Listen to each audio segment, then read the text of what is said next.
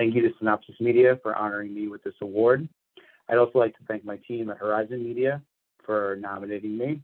I look forward to continuing to learn and grow my career within the industry. Thank you.